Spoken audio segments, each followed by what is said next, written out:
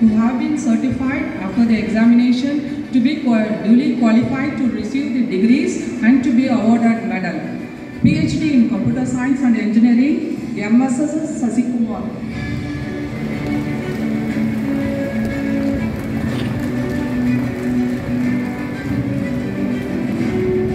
PhD in Electrical and Electronics Engineering, T. Selva Bharati.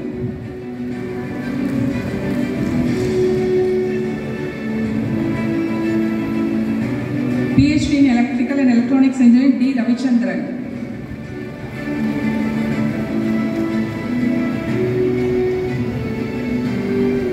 PhD in Mechanical Engineering, Prabhakaran M.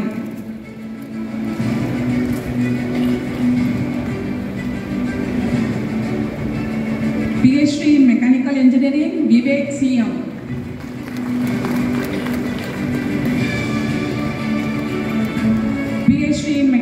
Engineering Karthik Subrahmanya Nai